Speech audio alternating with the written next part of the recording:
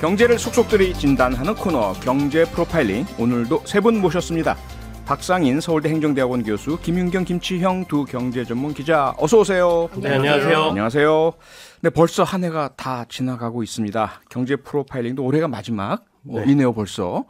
네, 지금 경제 프로, 파일링 유튜브로 생중계되고 있, 있으니까요. 여러분께서 저희 모습 혹시 보시고 싶으시면요. 꼭 들어와서 함께 해주시기 바라고요. 유튜브로 들어오시면 댓글과 어, 댓글로 남겨주시는 의견과 질문으로도 참여가 가능하니까요. 유튜브에서 표창원의 뉴스의 길 검색해서 들어주시면 감사하겠습니다. 국회가 지난 주말에 내년도 예산안을 처리했습니다. 법정 시한을 약 20일 넘긴 시점이었고요. 그런데 그 규모가요. 김치영 기자. 네. 총 638조 원 규모라고요. 네, 그렇습니다. 어, 24일 새벽에 처리가 됐어요. 네. 우리가 이제 그 예산안 법정 처리 기한이 12월 2일까지였으니까 정확히 네. 22일을 넘기면서 와. 처리가 됐는데요. 예. 애초에 정부안이 639조 419억 원이었는데 말씀하신 예. 대로 638조 원 정도로 처리가 됐으니까 어, 증액이 3.9조 원 이루어졌고요. 감액은 네. 4.2조 원이 이루어지면서 전체적으로는 3,142억 원이 감소한 어, 예산안이 처리가 됐습니다. 네. 어, 총 지출 규모가 국회 심사 과정에서 순감으로 전환된 건 2020년도 예산안 이후에 3년 만이고요. 작년, 그러니까 올해 예산이죠. 2022년도 예산하고 비교를 해보면 내년 예산은 어, 규모가 5.1% 정도 증가한 607조 7천억 원이다 이렇게 보시면 되겠습니다. 네. 아니 도대체가 600 조라는 그 숫자 자체가 현실감이 전혀 없긴 한데요. 그리고 네. 대한민국 전체가 1년 동안 쓸 돈이긴 하니까. 박사인 교수님 전문가로서 혹시 이 예산 좀 들여다 보셨습니까? 어떤 혹시 문제가 좀 있나요? 어떻습니까? 어, 사실은 예산 합의가 될 때까지 예. 20일이나 걸렸지만 예. 여야 할 것 없이 사실 예산에 대한 심의가 굉장히 부실했었고요. 어, 그리고 합의를 한 것도 큰얼개만 먼저 언론에 공개되었고 네. 구체적인 내용은 그 이후에 지금 이제 서서히 정보들이 흘러 나오고 음. 있습니다. 그래서 어, 심의 기간이 충분한 거를 넘어서 20일이 지났음에도 불구하고 네. 굉장히 부실한 예산이 아닌가라는 생각이 크게 들고요. 예. 네, 또 언뜻 보면은 이, 어, 지금 지출 규모를 줄여서 전반적으로 어, 예산 어, 적, 흑자가 나도록 만들어서 부채를 마치 줄이는 것 같은 모양새가 갖춰졌으나 네. 사실은 그게 의도를 해서 어, 부채를 줄이기 위해서 예산을 어, 순 어, 저기 지출을 줄여서 어, 네. 흑자 예산을 편성한 게 아니고 야당은 예산을 삭감할 권한만 있었기 때문에 음. 삭감만 하는 걸 주로 했고요. 네. 거기에 비해서 정부나 여당에서는 전혀 대응을 하지 않았기 때문에 결국은 어, 순 삭감 예산안으로 통과가 됐다. 그렇지만 어, 내후년에 국회의원 선거가 있기 때문에 네. 내년에 저는 추경할 가능성이 굉장히 높다고 생각을 합니다. 예. 김윤규 기자님은 혹시 뭐 전체 예산이 공개된 것도 아니고 아직은요. 네. 그리고 규모가 너무 방대하긴 하지만 그래도 이렇게 눈여겨 보신 부분이 혹시 있으실까요? 예, 그건 잠깐 이따 얘기하고 박상인 예. 교수님 말을 이어서 좀 예, 예 하자면요. 예, 예, 이게 사실은 우리가 긴축 예산안을 짤 때인가 이런 근본적인 음. 물음부터 좀 아, 들었어요. 네. 그러니까 지금 경기가 침체되고 있고 또 글로벌 경기가 별로 좋지 않고 이런 것들의 예. 파고가 굉장히 높아지고 있는 상황에서 네. 만약에 경제 성장률이 떨어지면 은 이 긴축으로 마련해둔 이 예산안도 다 맞출 수 없고 아. 결국은 추경을 해야 되거든요. 네. 그렇기 때문에 뭐 굉장히 그 제, 지출 구조 조정으로 뭐 이번에 지출을 막고 여러 가지로 음. 긴축을 하느라고 노력했다라고 자랑을 하고 있는데 그 부분이 근본적인 좀 의문이 들었고요. 네. 어 그리고 코로나 예산은 좀 줄어듭니다. 질병청의 내년 예산이 올해 절반 정도로 줄어드는데. 이거는 유럽 연합에서 이제 백신 계약을 한 게 기간이 좀 연장이 되고 네. 그런 것들이 좀 영향을 미쳐서 구매 예산 부담이 좀 줄었기 때문이라고 합니다. 네. 한 가지 더 얘기를 하자면은 이게 주거권에 대한 생각이 어떤 건가 좀 이것도 의구심을 제기하게 되는 부분인데 공공임대 음. 부분에 대한 예산이 네. 늘기는 늘었어요. 근데 이게 원래는 5조 7천억이 삭감이 될 예정이었다가 그나마 좀 국토교통위원회에서 좀 복원돼서 6,630억 원이 배정이 됐거든요. 네. 근데 뭐 반지하에 이제 못 살게 하겠다. 뭐 이런 음. 얘기도 하고 주거권 얘기도 하고 그러면서 임대주택의 예산을 이렇게 줄인 것이 아. 과연 합리적인가, 논리적인가 좀 이런 생각이 드는 부분이었어요. 네. 김치영 기자님 어떠세요? 저는 사실 이번에 예산안을 질질 끌고 가면서 여야가 가장 민감하게 봤던 게 법인세 인하 음. 줄다리기였지 않습니까? 그렇죠. 그러면서 각 당의 정체성과 관련된 문제다라고까지 얘기를 했었잖아요. 네.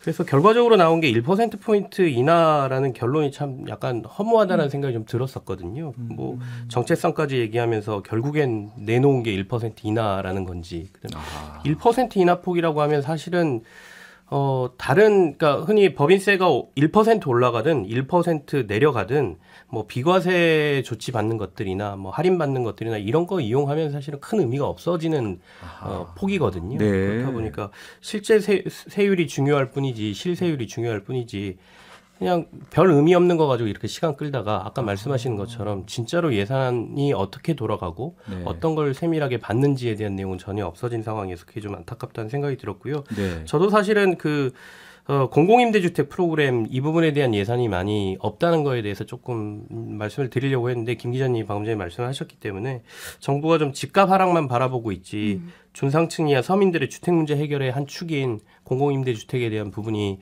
조금 약한 거 아닌가라는 안타까움은 좀 들었습니다. 네. 세 분 말씀 듣다 보니까 사실 대한민국 1년 예산이란 게 지금 주로 주거, 복지, 그다음에 이제 질병 이쪽을 짚어 주시긴 하셨지만 다른 분야도 마찬가지 아니겠습니까? 국방도 마찬가지겠고 교육도 그럴 테고요. 그런데 이렇게 시간만 끌고 서로 정쟁하다가 마지막에 이렇게 얼렁뚱땅해도 되는 건지 정말 그 와중에 더 조금 가슴 아픈 뉴스는 그런데 이 와중에도 소위 음. 말하는 실세 의원들은 자기 지역구 예산을 엄청나게 챙겼다. 이 보도가 조금 많이 가슴이 아픕니다. 퓨디도 국회에 계실 때 많이 보셨죠? 제가 예 저는 좀 변두리 사람이라 직접 보지 못하고 예. 예 바깥에서 봤습니다. 예. 아니 그 실세가 뭐 여야 할 것 없이 예. 이거 정말 여야를 막론하고 반복되는 그런 이야기들이 또 나오더라고요. 네. 그래서 이번에 보니까 여당 국민의힘의 경우 정진석 비대위장이 어, 세종시와 공주역을 잇는 광역 BRT 구축 사업에 14억 원을 추가로 확보를 했다고 하고요. 네.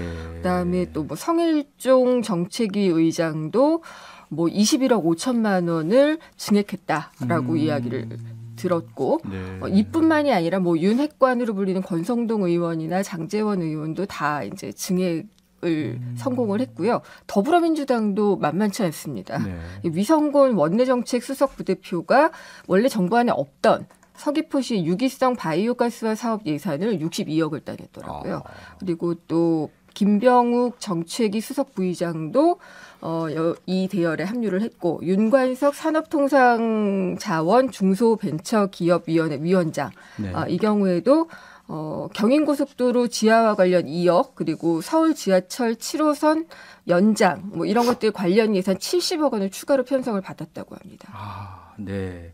박상인 교수님. 네. 그러니까 물론 바로 그 뒤에 이제 각 지역마다 현수막이 네. 붙을 거 아니겠습니까? 네. 우리가 이거 따왔습니다. 네. 그게 각 지역에 그래도 보탬이 되고 도움이 된다면야 뭐 괜찮겠지만 뭐 이런 식으로 해서 국가 전체적인 발전과 균형 경제적인 부분에 보탬이 되는지 어떻게 보세요? 당연히 문제가 많죠. 예. 어, 그래서 사실 가장 근본적인 문제점은 우리 네. 지금 어, 소선구제 중심의 의원 선거 제도에 있다 저는 생각이 됩니다. 그러니까 네. 선거 때도 지역 공약 개발 가지고만 이야기하고요. 어, 그리고 지금 어, 같이 양극단적인 지지자들이 어, 혐오의 정치를 부추기고 거기에 네. 또 정치인들이 편승을 하고 있습니다. 그래서 인신 공격만 난무하고 있고요.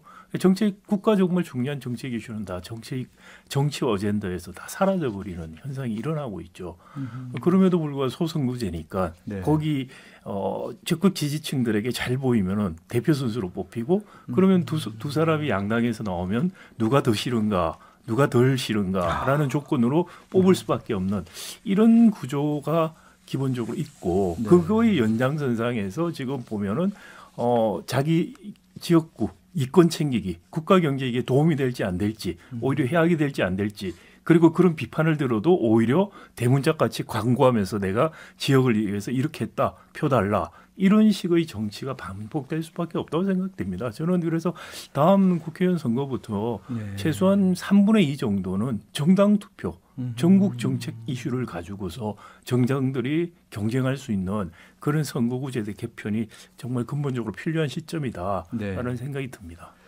결국 정치 개혁을 해야만 경제도 제대로 살아난다 말씀이신데 동의하십니까? 같은 생각이십니까 두 분도? 그 구조적인 한계가 분명히 있는 건 맞는 것 같습니다. 예. 뭐 지역에서 우리 지역 위에서 뽑아놓은 의원이들이기 때문에 자기 지역을 위해서 뛸 수밖에 없는 상황이고 또 이렇게 저희가 이렇게 뭐 욕이라는 표현이 그렇죠. 욕을 하고 있지만 지역에서는 환영하거든요. 음. 아까 현수막 붙였다고 좋아 이렇게 언론에서 떠들어주면 도리어 지역에서는 더 좋아하는 현상이 벌어질 수밖에 없는 올라가고. 상황이니까 네. 구조적인 한계는 있지만 말씀하시는 것처럼 뭐 전국구 의원이라든지 전체적으로 예. 뽑을 수 있는 인원을 늘려서 제도적으로 보충하는 방법이 그나마 대안이 되지 않을까 싶습니다. 네. 알겠습니다. 어쨌든 윤석열 정부 들어 첫 번째 예산이 통과가 어쨌든 됐습니다. 어, 대통령실에서는 이런 평가를 내놨죠. 거대 야당에 밀려서 민생 예산이 퇴색했다. 이 부분은 어떻게 보세요? 맞는 얘기인가요? 뭐가 민생인지 저잘 모르겠는데요. 아까 법인세가 민생 법안인가요? 그다음에 아니죠. 금투세가 민생 법안인가요? 아. 이게 두 개 대표적인 게 이제 내줬다라고 이제 여당하고 정부가 주장한 건데 그 행안부 경찰 민생 법안으로 네. 안 보이거든요. 그래서 네. 이건 정치적 수사에 불과하다. 저는 이렇게 음. 생각합니다. 정치적 수사다. 국민을 누구라고 생각하시는지 저는 민, 민이 도대체 누구가 민인지 제가 헷갈려서 네. 잠시 이 말씀을 듣고는 어 내가 예산안을 잘못 알고 있었나 잠시 다시 찾아보기도 했습니다. 예. 결국은 법인세 같은 경우도 상위 어 제일 높은 세율 우리 재벌 대기업만 사실 해당하고 잘 나가는 기업들에게 해당한 부분인데 그걸 예. 무려 3% 포인트 내려주자는 것을 음. 1% 내려주는 걸로 끝나서 네. 민생이 어려워졌다라고 말씀을 하시면 도대체 누가 국민이고 누가 민생인지 음. 좀 헷갈립니다. 그리고 뭐 네. 저기 어, 또 말씀하신 그 주식 5천억 5천만 원 이상 어 이익을 낼때 예. 민투 아, 금, 금투세라는 형태로 네. 도입하기로 여야가 2년 전에 합의했던 거. 그렇죠. 어, 그것을 또 다시 연기를 했어요. 네. 이 민생을 위한 건가요? 자.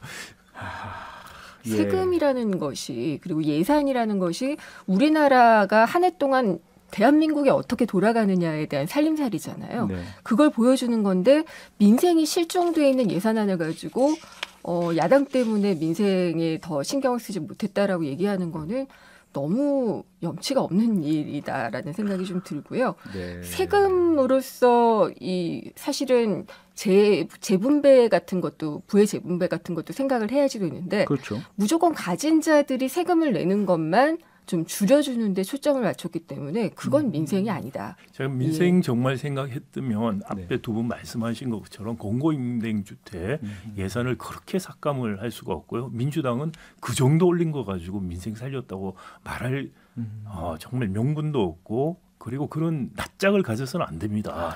그래, 네. 네. 그리고 내년에 경제가 다 어려워질 거라고 예상하고 있어요. 예. 경제가 어려워져서 정말 민생 민생이 어려움을 겪을 때 대비한 음. 예산이 자세히는 지금 아직 잘 모르겠습니다. 보이지가 않아요. 아. 민생 어려웠을 때 대비한 예산이라는 것은 뭐 금융 약자, 네, 뭐 경제 약자들을 그렇습니다. 위한 거 그리고 거죠? 또 대규모 실업 문제 같은 것도 예, 생길 예. 수가 있고, 예. 네, 그런 것들에 대비할 수 있는 네. 예산들이 있는가 그런 것도 없이 아예 민생 자체는 생각하지 않고 있는 분들이 어허. 민생이 어쩌고라고 말을 한다는 건 이건 코미디도 아니고 이렇게 할수록 정치에 대한 국민들의 혐오감, 불신만 네. 키울 뿐이다. 자기 얼굴에 침을 뱉고 있다는 걸 좀 제발 좀 깨닫고 아. 말을 좀 가려하시기 바랍니다. 네.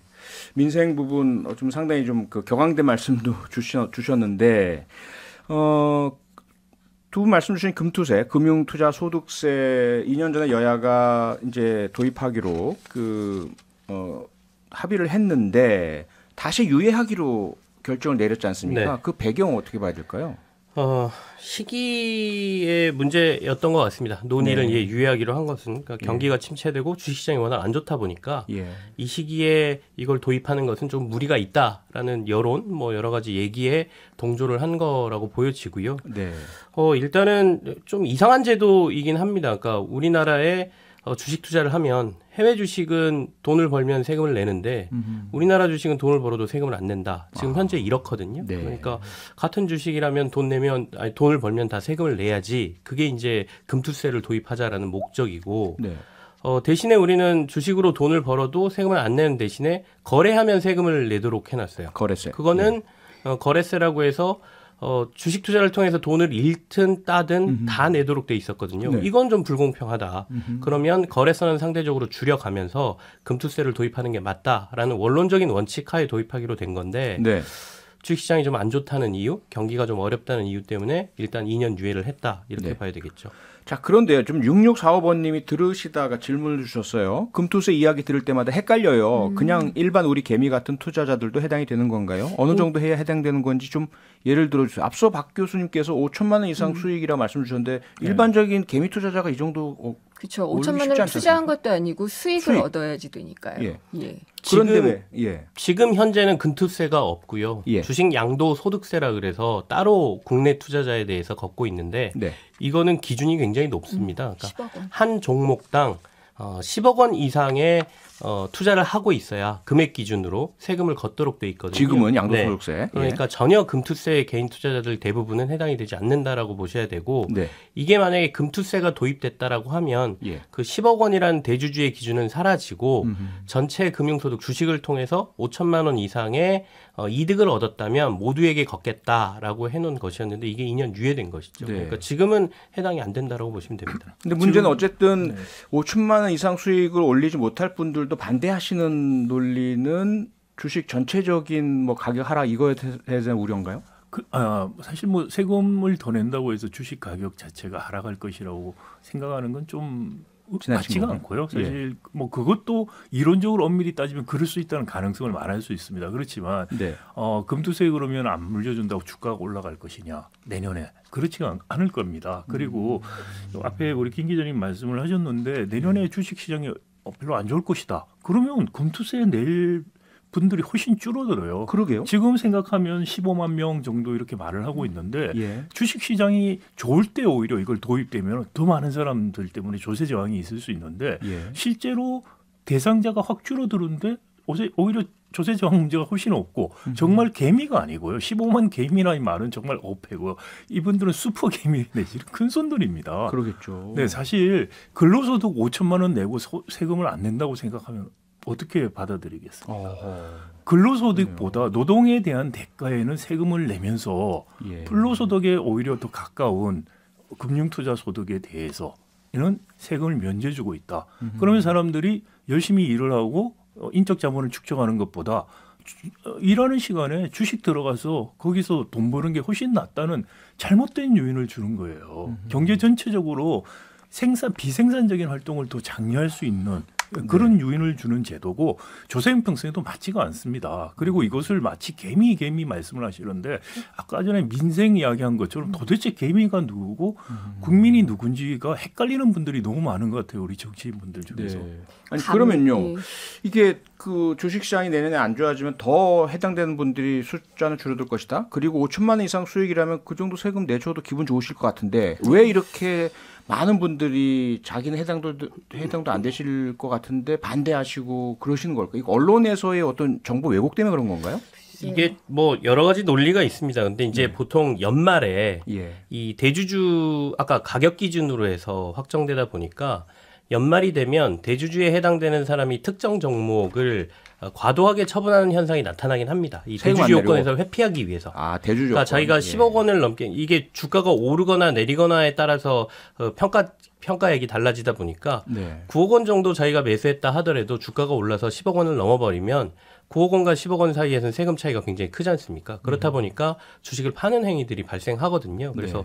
이 대주주 요건 때문에 항상 연말이 되면 주가가 빠진다 라는 걸 어, 통설적으로 음. 주식시장 내에서 그렇게 생각들을 하고 있기 때문에 네. 이번에 대주주 기준이 또 바뀌어서 음. 더 내려오거나 할 경우에는 자칫 잘못 시장이 빠지는 상황에서 더 빠질 수 있다는 두려움의 시장이 좀 빠져 있고요. 네. 그다음에 두 번째 논리는 개인 투자자들이 어, 세금을 걷는 거에 대해서 반대하는 건 아니다. 돈을 음. 많이 번 사람이 세금을 내는 건 맞긴 한데 우리가 그러면 지금 개인 투자자들에게 정당한 시장으로 형평성이 맞는 시장이냐?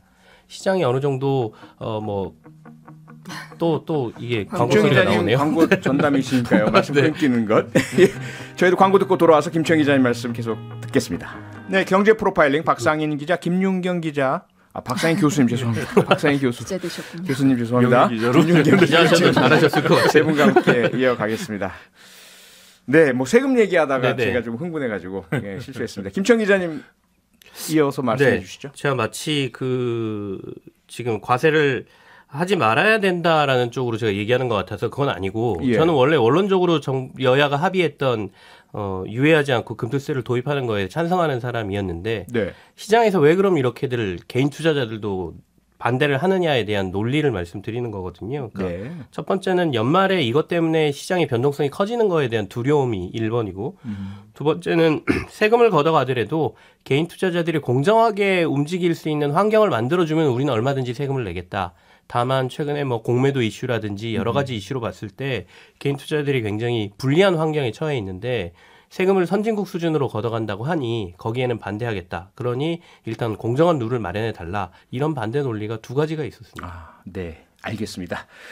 예. 어, 올해가 지나면 끝나게 되는 소위 일몰 법안들이 있습니다. 그 여야가 오늘부터 이 일몰 법안에 대한 연장 논의에 착수했다고 하는데요.